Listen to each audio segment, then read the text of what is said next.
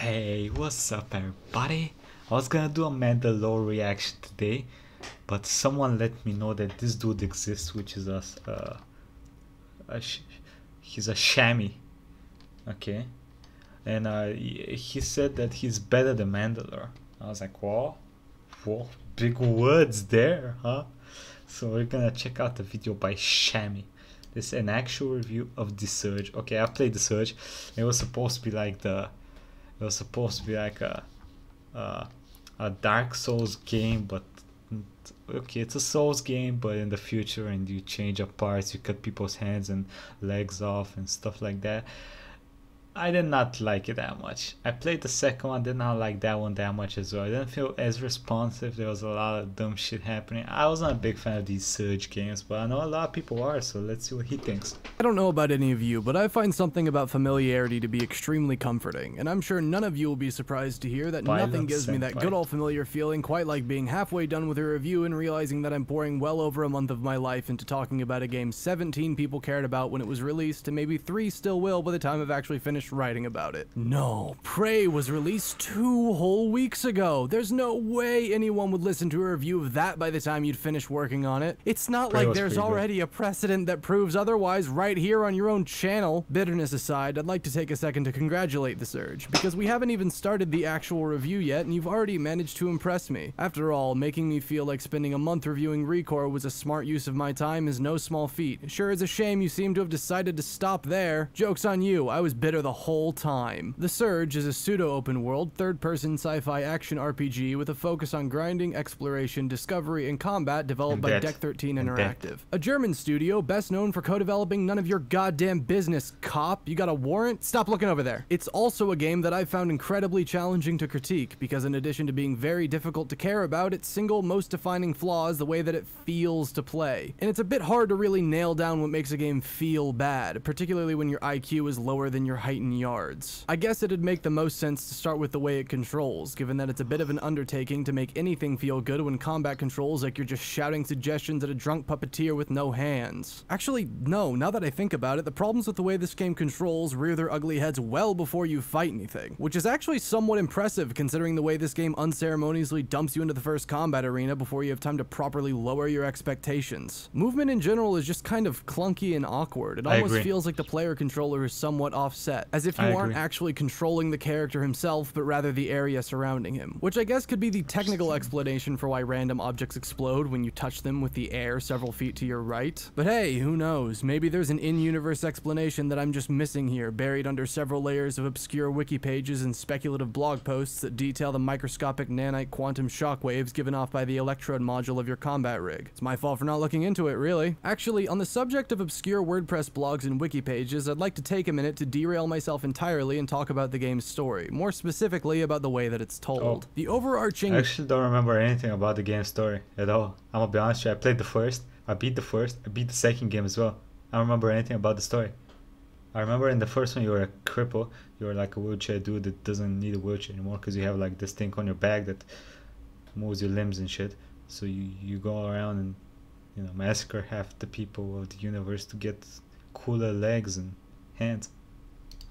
Plot of Warren fighting his way through the Creo facility in order to figure out what happened is told fairly traditionally through scripted story events and interactions with other survivors via branching dialogue trees. Specifically, the form of branching dialogue trees and quotes you could brain a mech with, where the only meaningful choice you can possibly make is None. to skip them entirely. Take it from me, I sat through every dialogue option, and you're really not missing much. Oh, Essentially, every single character can more or less be summed up by prefacing a noun with the word confused. Confused drugs, confused science, confused. Uh.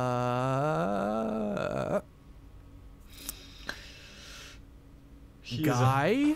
What a. Dean Hobbes is one of the characters in the Surge. Good job, Wiki. I like it. I, I like the ad in the top right. I went from this to this in three days with this one possibly illegal trick.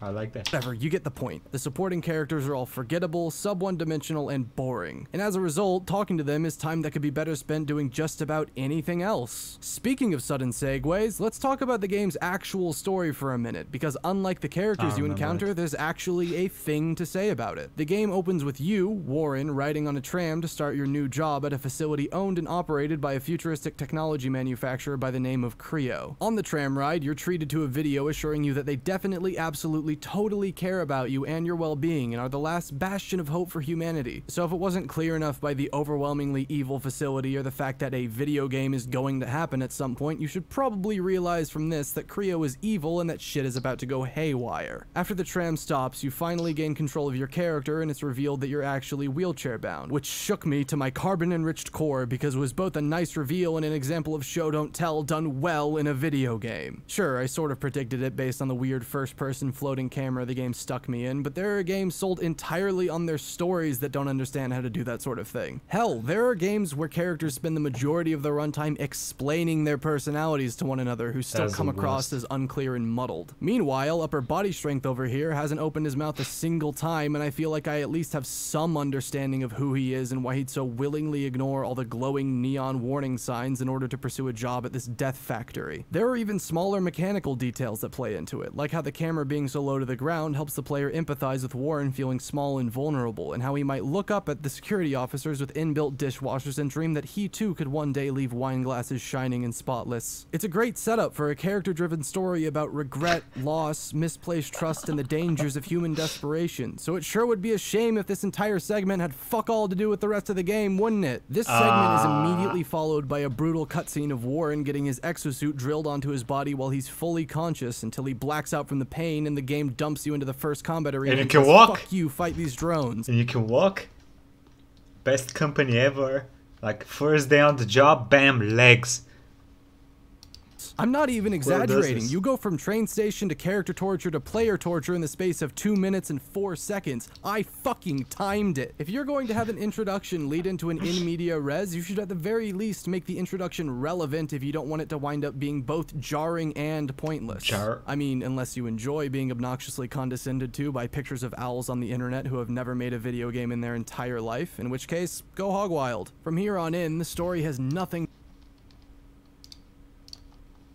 to do with Warren outside of the fact that he's the dope running around braining ex-employees the metal rod trying to figure out what's going on. Which is good, because the game only blew its storytelling load on making him empathetic, makes no sense to capitalize on that. After the power surge that sent everything fuckside, the remainder of the game shifts focus from. Warren to the current state of the planet and the company of Creo itself. And as we explore more and more of the facility, it's steadily revealed that even before everything broke down, Creo were operating well outside the law, morality, and ethics under the justification that it ah, the interest of humanity's greater good. Thanks for going slow with that one. I'm not the main character of a video game, so I'm not entirely sure my heart could handle the shock if you hadn't. During this exploration, you're spoon-fed information regarding Project Resolve, a program that promised to repair the degrading atmosphere but had to be recalled post-launch due to the fact that it had unforeseen lethal side effects. What these side effects were is never explicitly stated. Or maybe it is, but I don't care and you don't either, so why am I even arguing with you about this? Let's just say it made copies of this game appear on everyone's computers and move on. After Resolve fell through, the scientist who created lethal. it was given the boot and Creo began work on its successor, Project Utopia. Except she didn't actually get the boot because you run into her later on when she tells you that Project Utopia needs to be stopped at all costs and gives you a chip containing a virus that will make it inert provided that you get it to the board of executives on time. I think I'm about halfway through the plot at this point and I'm starting to realize that I'm just listing off story events and then immediately moving on. And I'm sorry, but I genuinely have no idea how to talk about any of the things that happen in this game for long enough to say anything interesting about any of them. And I think I might actually know why that is. This game has no emotional heart. Warren never has any kind of reaction to anything that happens around him, so story events are just that. Event. And like the combat in this game is basically okay. So how you get new parts, new weapons and shit like that is by killing off enemies' limbs, which would be very, you know, like they could have had a whole plot system around how your character needs to, you know, go through the whole thing of chopping up a, another human being to make cool ass armors and shit. That's pretty fucked up, right? But they did not. He did not give a fuck. My boy was ready. Pretty sure he was in the fucking train on the way to the job in his little wheelchair being like, oh yeah, I wish I had a human being to chop up now. So yeah, you're playing as Hannibal Lecter. At a point near the end of the game, he discovers that the person he has spent the most time interacting with, and the only person I think you could potentially argue that he's built a relationship with, is actually an artificial intelligence unit, who then subsequently crashes and fucking dies in front of him, and he reacts like water being poured into a beaker of more water. And yeah, that is a spoiler, and fuck you for pretending to care, because even he didn't. There, consider that your warning, because from here on in, I'm going to be spoiling the rest of the game's plot, so if you're really jonesing to experience the Doesn't story matter. of the Surge for yourself, then I guess this is your stop. I'm sure all none of you will enjoy some of my other reviews. Take a good look around, there's no rush. As for everyone else, don't worry, there are only a few more events that are big enough to bother bringing up, so I'm gonna try and wrap this up as quickly as I can. Eventually, you find Project Utopia's creator and discover that the program is designed to infect human bodies with nanites, which then feed off the human tissue and replace it from the inside out until only synthetic material remains. After the transformation is complete, the result is a new organism that would supposedly be able to survive on Earth post-atmosphere degradation, known as Ho... Homo machinalis. About that. I don't...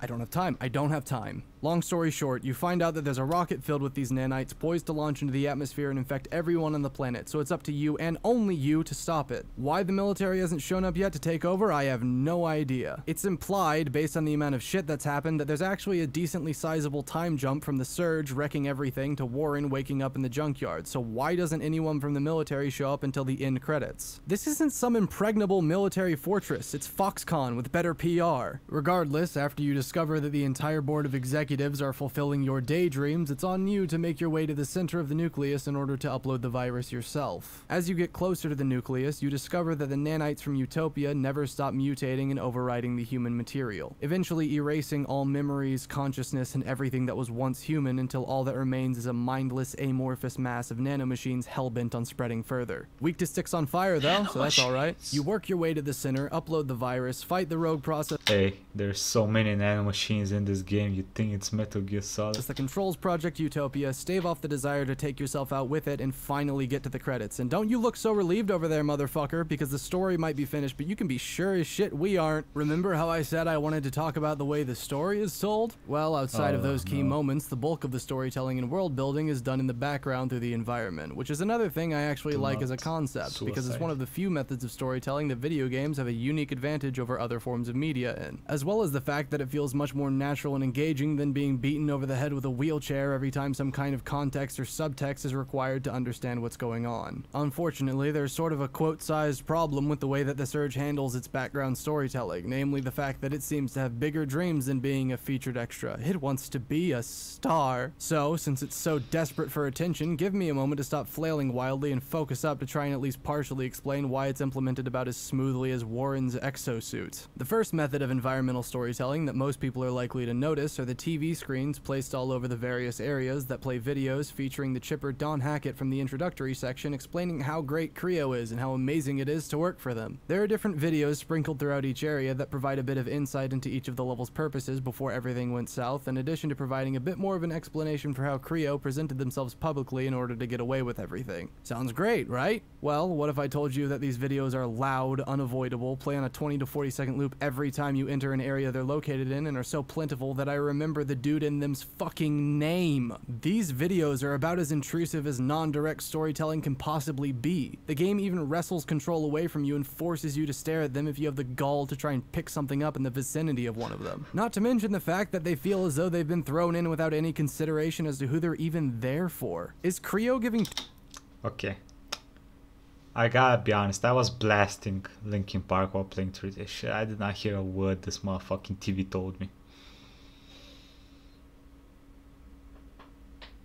Tours day in and day out that aren't curated by a guide, or are these here for the employees? If it's the latter, I can't really say I'm surprised by the state everything's in. If I worked a job where I had to hear some prick smugly tell me about how great I've got it on a 40 second loop day in and day out, I'd go fucking ballistic. And no amount of surge protectors taped to my forehead would have been able to prevent it either. Potentially even worse than all that is the fact that some of the other methods of background storytelling actually go so far as to remove the small level of intrigue any of the characters had to begin with. For instance, the first time you make your way through the game's main hub area, you'll likely stumble across this woman, whose name I cannot for the life of me remember, so I'm just going to call her Free Public Wi-Fi, because based on the shit she says, anyone can connect just fine, but if you walk away with a virus, you've really only got yourself to blame. When you first stumble across her in-game, she's digging around in the garbage looking for a staff, and if you go find one for her, she'll reappear at a few different points later on and reveal that she was an engineer. But as the game goes on, you'll eventually find her clad in security armor babbling about orders and lockdown. And while Bitch Goes Crazy isn't exactly the top rung on the ladder of quality character arcs, it's at least something. It adds some small level of intrigue to a game devoid of intriguing characters. Has she been running around murdering and chopping up security guards to Frankenstein together the armor she's wearing? Has she been killing security officers? I mean, can we really blame her? It's pretty much what we do in this game the whole time. We just kill people, chop up their limbs, attach them to our hands. So. The entire time? Is that why they're immediately hostile? Also, if all of the other guards are immediately hostile toward Warren, will taking on this persona cause her to eventually snap and turn on you, forcing you to kill one of the only people in the entire facility that you thought you could save? As it turns out, these aren't actually questions I wanted the answers to, because it's revealed through an audio log that she just nicked the equipment and went on her merry way. Of all of this shit left unexplained. Why is that the thing you felt you needed to clarify? Especially when the answer is so fucking mundane. Without even going into the fact that someone making that audio log doesn't really make sense given all the other shit that had to have been going on at that time, they made both the character and world less interesting by adding more details to them. There's an almost poetic level of irony to that, like the fact that the Cult Awareness Network is owned by the Church of Scientology, or how women who own horses have a tendency to be unstable stable. Yes, I acknowledge that that is a total nitpick, what? but if you're going to invest this kind of time and effort into building things in the background, you should probably spend some of that time making sure it doesn't fuck up the foreground as a result. Look, I know that actual deep and detail-rich environmental storytelling takes a lot of time, talent, and effort, especially for something that will be completely missed by a decent chunk of the player base. But does a garden bloom overnight? Was Rome built in a day? We all know the answers to these questions. So who the fuck thought that having the exact same video play every time you respawn in R&D was a good idea? Better yet, who thought it was a good idea to play the exact same part of the exact same song every single time you respawn in a game built around the idea that you're going to be dying a lot? Getting one shot by a normal mob because this game controls like a coat hanger abortion would have been infuriating enough if I wasn't immediately met with, I was born in a prison with no hope for escape. Do you get it yet? How about now? You don't get to lean Yo, on the one thing savage. you did properly when you do everything in your power to make it about as removed from the game's plot as this game is from the internet's radar. And I guess that all sort of leads up to a simple question. Is the story bad? Yes. yes but honestly not to an offensive degree. The characters suck, the world is hard to care about when there's nothing in it to connect with emotionally, there are a lot of smaller details that are key to the storyline that flat out don't make sense, and the timeline of events adds up about as well as a dyslexic child learning to use PEMDAS. However, contrary to popular belief, I do try to give credit where it's due, and to its credit, this game does do a pretty solid job of building up a mounting atmosphere of despair and hopelessness without feeling the need to hammer in that you're supposed to be feeling that way. Although, thinking back now, those feelings might have had more to do with the gameplay than anything going on in the story. Yes, finally, the part of the review that person actually cares about. Thank God. Now, before I so rudely interrupted me, I sort of touched on the fact that playing this game feels like playing Bloody Knuckles with a meat grinder or something along those lines anyways. Can't really remember my exact words. Wasn't there a wall a that just well, whatever. Wasn't there a wall that said do not suicide? My boy just did what the wall said not to do. How dare you? When I was talking about the way this game feels, I specifically talked about the way it controls. And I want to be clear here that I was talking about how the gameplay itself handles and not which buttons do what. Although don't you worry, I'm going to touch on that shit too. Let's start with the combat since that's, you know, the game. Okay, this this what y'all saw there was my biggest problem with this fucking game. Enemies do these retarded swings. They basically do this. It's like you're fighting with the uh I can say that actually on YouTube.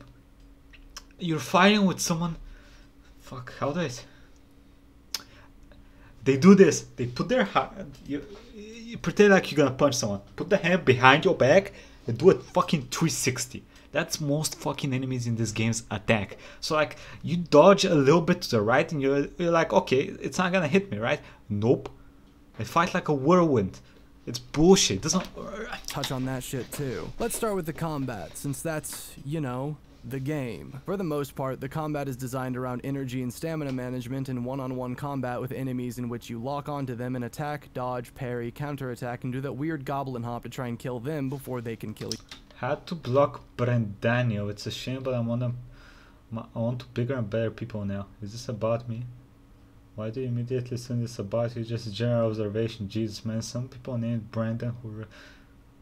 You. Stamina management is pretty basic. Running, Okay. dodging, attacking, and parrying all drain some amount of stamina, and running out leaves you more or less defenseless to enemy attacks. Where the game really gets interesting is the introduction of the energy meter, which is used for non-physical things like activating attack drones, amplifying your weapon's damage, applying elemental buffs, slowing down time, healing, and performing executions. There's a catch, though. This resource doesn't regenerate once it's used and can only be built up by performing physical attacks on enemies, which as a concept is honestly kind of brilliant. The bar itself is insanely dynamic in the way it affects the combat, and the idea that the only way to use it as effectively as possible is to have an aggressive approach to fighting is a really creative way of encouraging players to take a more active role in combat encounters. Unfortunately, this entire concept is butchered by the fact that the rest of the combat is designed in such a way that playing any way other than passively and pussily is more or less a guarantee that you'll end up with half a power loader staking its claim to your lower intestine. If you goblin hop Yeah, when you're shots. supposed to gremlin squat, you'll discover pretty quickly that even normal enemies in this game can and will kill you in one or two hits. Which is fine enough if you're trying to make your game challenging, I guess, but if you're going to do that, you should probably do everything in your power to ensure that fights feel like they're between the player and the enemy and not the player, the enemy, and the game itself. Aside from the fact that its design pretty directly conflicts with a lot of its concepts, one of the biggest problems I have with the combat in the Surge is that I don't think it's nearly tight enough to get away with being this punishing. The majority of weapons have wind-up times rivaling that of a politician, follow-through takes as long as see previous, and at the end of most of the attack chains you get locked into uncancelable multi-hit combos that keep going for full seconds after you've stopped pressing anything, which made the decision of which weapons to use based less on how much I enjoyed their movesets and more on whether or not I'd be too senile to understand Warren impotently swinging into either an enemy's inescapable insta-kill combo or off the fucking map by the time he got around to it. Also, and this is optional and And the thing is, the the second game, same exact fucking shit. It does the same. It does the same fucking shit. Mostly didn't learn. unrelated, but I wanted to bring it up anyways. They For didn't some learn. reason that I won't even try Fucking to learn. understand, you can turn on a setting that makes the game go all slow-mo for about half a second every time you hit an enemy, which I think should be classified as treatment for the clinically sane. Half the weapons in this game are already nigh unusable because it takes the better part of a dog's lifespan to swing them. How much free time do you think I have? Throw in the fact that injectables and healing items don't actually activate until about half a second after they say they do, and it all comes together to make one of the least responsive feeling combat systems I've used in a very long time. Which is a big enough problem in and of itself, but it's compounded by how much damage just about every enemy can pump out. Exactly. Listen, the combat system is not as bad as he's making out to be. Um, like the bad, the worst. A lot of games have shitty combat systems, but usually they're not as hard because like they're not. Not every game is Souls like. So if the enemy did like a fifth of the damage they do, it won't be that big of a problem because it won't be that hard. Okay. But since it's a fucking punishing game, and if the enemy touches your little toe on the, you fucking die. Okay. So in under a second. This unresponsiveness isn't even restricted to the combat. Sometimes when a button prompt would show up to pick up an item, I'd have to fumble around for a few seconds before the game would actually let me pick it up. I know it's a minor complaint, but when you can't even get basic shit like that right, I feel like it's at least worth mentioning. As for the one-on-one aspect, there's actually more to it than just a heavy reliance on a single target lock-on mode. While you're fighting enemies, you can point the right stick in any direction in order to target unarmored body parts in order to boost your damage, which is sort of a neat idea, but for the majority of the game, they don't really do anything interesting with it. Aside from dealing bonus damage when you hit unarmored body parts, it really doesn't matter which body part you're targeting. You can't try to disarm them by attacking the hand they're holding their weapon in, you can't try to daze them by attacking their head, and you can't try to cripple their movement by attacking their legs. And no matter what limb you're hitting, you do exactly the same overblown attack animation regardless. It makes the whole system feel a bit pointless, at least in terms of combat. Luckily, in terms of farming, it's uncharacteristically utilized really well. Instead of having to rely on RNG for weapon or item drops, you can Yeah, actively was decent, guarantee that enemies will drop what you want as long as they have the item equipped and you have the wherewithal to take it. If you get an enemy below a certain health threshold and have enough energy, you can perform an execution by chopping off whatever body part you are currently targeting. And all those years in the wheelchair definitely seem to be paying off because Warren might be the only human being in existence who can tear a tank in half with a metal stick. Performing one of these executions will drop both a blueprint and parts for whatever weapon and or piece of armor the enemy was using provided that the body part you chopped off was either holding the weapon or wearing the armor. And unfortunately, this is where I have to stop being nice. I know, it was fleeting, but hang in there, we can make it through this together. In concept alone, this system for farming is nothing short of fantastic. It gives the player control over something that's normally decided by an often frustrating roll of the dice. Where it starts to fall Dark apart is when it's actually looking put into practice. See, you're normally going to want to be targeting unarmored body parts during combat so that you're dealing the most damage possible, and then switching to an armored part for the execution so that you can get the item and or materials that you need. The problem there is that it's not exactly a breeze to switch body parts while avoiding attacks and staying in range long enough to perform the execution because of how jank the controls for doing so are. You can either use the default option of sticky locking where you select a limb and the target doesn't switch until you do so yourself, or manual targeting, where staying on one limb continuously requires you to hold the stick in that direction but allows for faster and more fluid switching between limbs. And thank you, Deck 13, for giving me two uniquely terrible options to choose from. I had no idea you were so in touch with the ever patriotic American spirit that drives me. Sticky locking is unbearable because of how clumsy and awkward it is to try and get the game to target the correct limb after you've selected your first one. And manual targeting is barely any better because while it makes going touching spirit bear on the enemy's asses a bit easier, it means resigning yourself to the fact that Warren will only actually target the limb you have selected for executions about once a generation. This is due to the fact that manual targeting increases your chances of accidentally hitting the wrong body part, and the success rate of targeted executions is based on the amount of damage dealt to that area before triggering it. Which means you get to choose whether this system is self-defeating for combat or self-defeating for farming. Fucking hell, you really do know me, don't you? If all that wasn't bad enough, the fact self-defeating for farming. Fucking hell, you really 那个。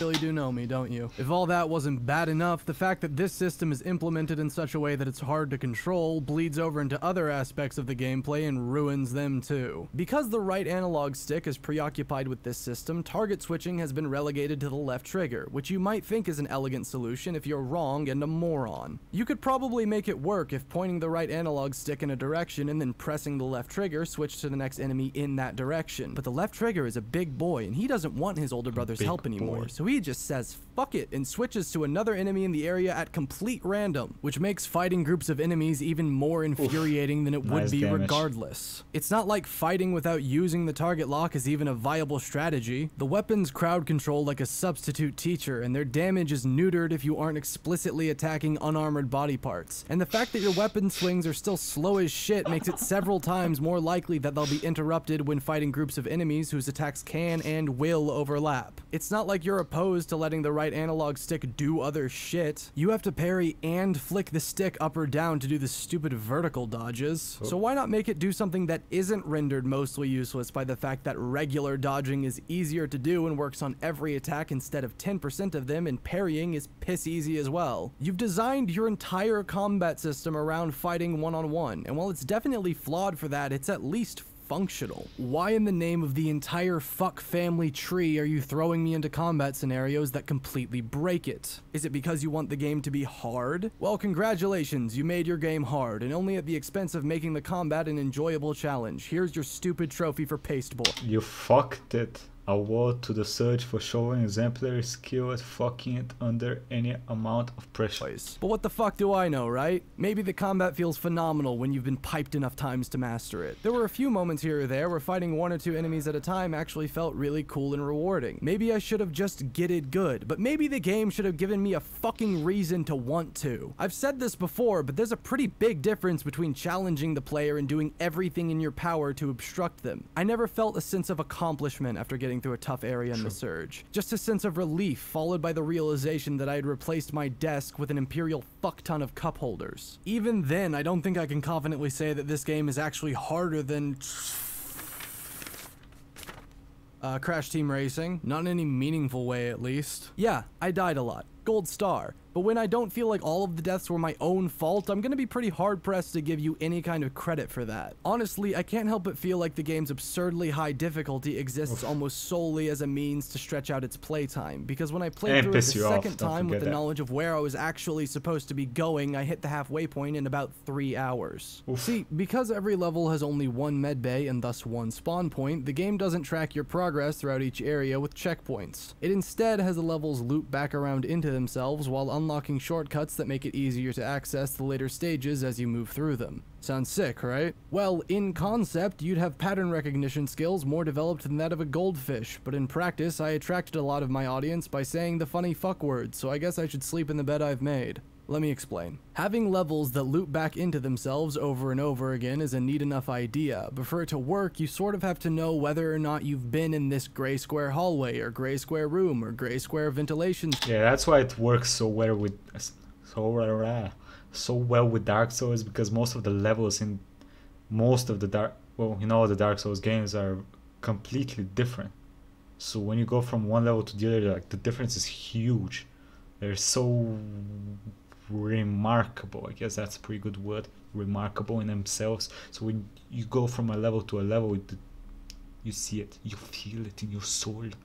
In this game, no, you don't. shaft before. Sure, the actual levels themselves are pretty visually distinct from one another considering the setting, but areas within them all blur together and make the experience as a whole more confusing and obnoxious than anything else. Even the nucleus suffers from this, and that's the most well-designed level in the game by a baker's mile. It's built around this really cool concept where the med bay is on a massive freight elevator that you can move up or down in order to make certain areas more easily accessible and sort of change the way the entire level flows. Unfortunately, because the different areas within the stage are about as visually dynamic as a cold bowl of oatmeal, the different areas end up feeling and looking exactly the same anyways. When you're required to backtrack all the way to the beginning of the level to reach the final boss, and the best possible way to do that is to take 50 leaps of faith and pray that the game doesn't ambiguously murder your ass, you may want to consider that you have a bit of a signage problem. I don't want, nor do I need, a giant flashing arrow telling me where I need to be going, but when you present me with 10 different maze-like paths to go down, I'd like to at least be positive about which ones I've already taken. You can't even use the old video game adage of if you find enemies, you're on the right track, because enemies respawn every time you die and are fucking everywhere anyways. It is phenomenal how much shorter this game is when you have even a slight understanding of where you're supposed to be going. And yeah, I get that that's true with literally every non-linear game ever, but I can't help but feel like everything being dragged out like this is at least somewhat intentional in this case, given the fact that there are a grand total of like six levels in the entire game and even fewer bosses. And boy oh boy, do I have some shit to say about those. The boss fights in this game range from surprisingly fun and engaging challenges to the absolute worst pieces of unfair dog shit that I've ever played in my entire life. And I'm just going to talk about the two on the extreme sides of that spectrum because even though there aren't that many to cover in the first, talk about the two on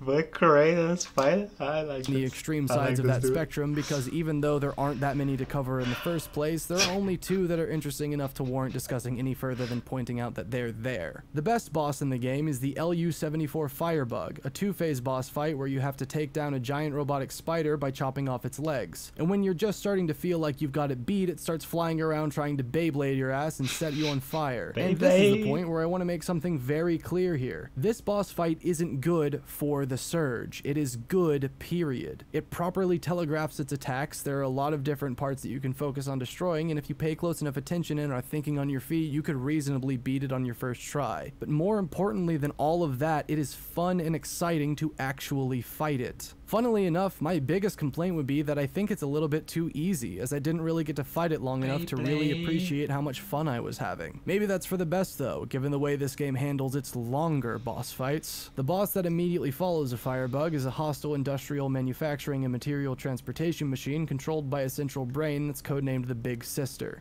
Yes, it's an evil crane. In this dark and moody game about the potential end of mankind at the hands of a nanite virus that slowly eats you alive from the inside out, you do fight an evil crane. And what would you do Yes. if I told you that this boss is better from a narrative standpoint than a gameplay one? The fight itself is broken up into three different sections that are each awful in their own unique way, with phase 2 being my personal least favorite. In this phase, you have to fight off four arms that all attack you at once in a cramped area while the camera flails around trying to figure out what you're trying to target. I thought that the best strategy in this phase would be to focus on damaging one arm at a time because they fall off when you hit them enough. But even in trying that, one of the arms just continued attacking me after it fell through the floor. Not to mention, if you wander too close to the brain too soon, you can accidentally trigger the final phase camera, which zooms out to a completely different angle altogether while the arms continue to maul you. Or at least I assume that's what's happening. It's a bit hard to make it out through the alcohol-induced haze and fucking arms. This has to be one of the worst boss fights I have played in my entire life. And here's the kicker. It's still not the one that I hate the most. Oh, because while it may play one? like a broken accordion made of razor blades, it was at least a fucking idea. Compare that to to the the? Black Cerberus, the Oh. second to last boss in the entire game, which just involves fighting the first boss over and over again with an interlude of punching on with a normal enemy that they've strapped blue lights to. I get the whole, oh boy, this Earth is not well thing you've got going on with the story, and I appreciate that you're doing what you can to help out, but this isn't the sort of recycling that's gonna help fix it. Did you think that the rest of the game had such a vibrant rainbow of enemy types that no one would notice? For the vast majority of the game's runtime, you'll almost exclusively be fighting off hordes of brain-dead ex-employees of Creo in power armor who mindlessly walk towards you while snarling and growling. And no, they are not zombies. The chips connecting their brains to their suits were fried when the surge happened, which caused them to be reduced to their primal instincts of wandering around without any kind of consciousness and immediately attacking every non-brain dead thing they come into contact with. They're and I can already hear you saying, gee, Shammy, that should does sound pretty functionally identical to zombies, and I can see why you might think that. Aside from these enemies, you'll most often like be fighting there, security dudes with explain. stabs, security dudes with flamethrowers, and the heavy-duty Black Cerberus security dudes with hammers. And this is the point where you should be recognizing a bit of a pattern, Nemo. Aside from a few robots and drones here and there, you'll wind up almost exclusively fighting variations of dudes. And I'm not anti-dude or anything, but if variety is the spice of life, this game is a saltine sandwich on white. I get that the setting is pretty restrictive if you want to maintain a solid level of believability, but this is a game where you fight an evil crane in a facility whose security was entirely staffed by murderers. I'm not positive I'd call that grounded to begin with. Hell, there are already normal enemies in this game that I can't for the life of me make sense of. The robots in central processing are pretty clearly designed to repair machinery, but what the fuck are the weird spider robot dogs in the Resolve Labs designed to do? Infuriate me specifically? Well, Yes. tough luck, fuck boys, because y'all got beat out by the shitty utopia blobs in the nucleus that can only be killed by overloading them. Because if there's one thing this microwave vasectomy of a video game needed, it was new and exciting ways to break the Microwave. Oh boy. because y'all got beat out by the shitty utopia blobs in the nucleus that can only be killed by overloading them. Because if there's one thing this microwave vasectomy of a video game needed, it was new and exciting ways to break the flow of combat. Nah, don't even sweat it. It's not at all obnoxious and tedious to have to get enemies to a specific health threshold so that you can overload them without accidentally resetting their health bar. And then having to wait patiently with your big dumb metal thumb firmly stuck up your big dumb metal ass waiting for a big dumb prompt to appear. It sure is a fucking relief this game doesn't have responsiveness issues with those. Also, the act of actually overloading them just requires you to stand still and hold down the use key until they just sort of flaccidly fall apart. I've been in near fatal car accidents that left me more satisfied than that shit. If you're gonna force me to stand around doing nothing, the least you could do is make it look interesting. Fortunately, there are actually a few bright spots here and there in the enemy types. The humanoid utopian enemies are genuinely pretty neat for no reason other than the fact that they're the only enemies in the entire game that do something interesting with the mechanics provided. The first of these that you encounter are the early stage utopian androids who come back to life after you kill them, which I know isn't exactly forget to mention that we won because of France levels of revolutionary in terms of enemy design, but the fact that you can prepare for the second phase by chopping off specific limbs and make them easier to deal with is at least interesting enough to be worth mentioning, if only because it's the first time the system is used for something other than just making your numbers more numbery. The second and less interesting of the two are the late stage utopian robots who shift their armor around while you fight them. And while this does really accentuate all of the problems that the limb targeting system has in the heat of combat, I still appreciate that there was an attempt to do something different here. Here's the thing though, those enemies probably wouldn't have stuck out to me so much if they were in a better game. Because while they're certainly more interesting than everything else on display here, fighting them starts to get pretty repetitive pretty quickly, and they eventually get relegated back to type of dude status. The repetitive nature of the Surge's combat isn't just due to the lack of enemy variety though, there's a distinct lack of weapon variety on display here as well. In total, the Surge contains five different weapon Yeah. types